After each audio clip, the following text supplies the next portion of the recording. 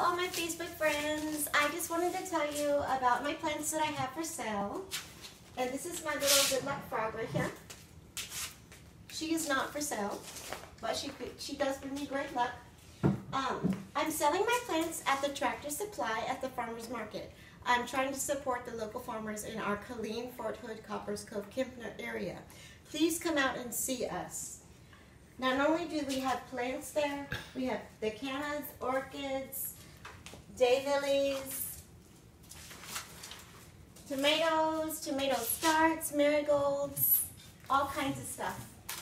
But also we have people who have baked breads and make organic products for puppies and dogs, which is very important to me. Please come and check it out. It's on Saturdays, every Saturday until 2 p.m.